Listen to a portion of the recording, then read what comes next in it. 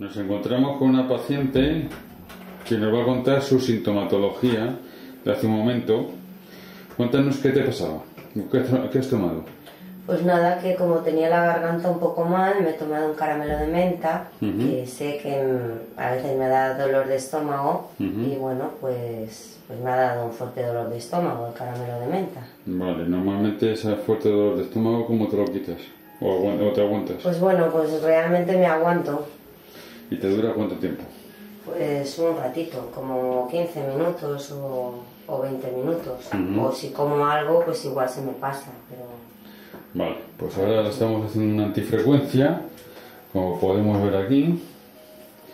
Hemos metido un caramelo y con la máquina de bioresonancia estamos haciendo una antifrecuencia en el vaso y con cables directamente a la paciente. Y dentro de un ratito nos contará la paciente cómo se encuentra, si es más rápido lo que nos está diciendo ella de, en las, de la espera de esos 15 minutos o la antifrecuencia que la estábamos introduciendo por vía frecuencial con los cables a su organismo. Esperamos unos minutitos. Bueno, pues hemos terminado de hacerle la antifrecuencia. Como vemos en la pantalla dice OK y esto dura más o menos unos 5 minutos o algo así. Y bueno, pues nos gustaría que nos comentaras cómo te encuentras. Pues nada, la verdad que, muy bien, que se me ha quitado por completo el dolor y, bueno, pues asombrada de lo efectivo que ha sido. Nunca te nunca habías hecho esta prueba, ¿no? No, nunca. Y ni la conocías. No.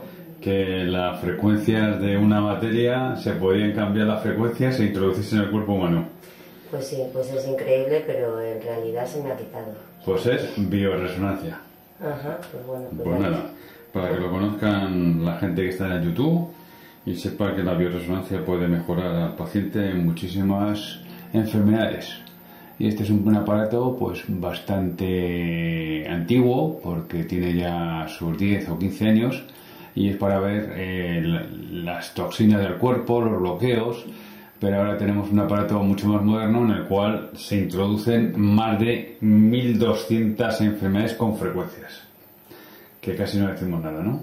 Todo eso se conoce hoy en día y todavía la clase normal de la calle y ni los propios médicos saben que existen estas máquinas.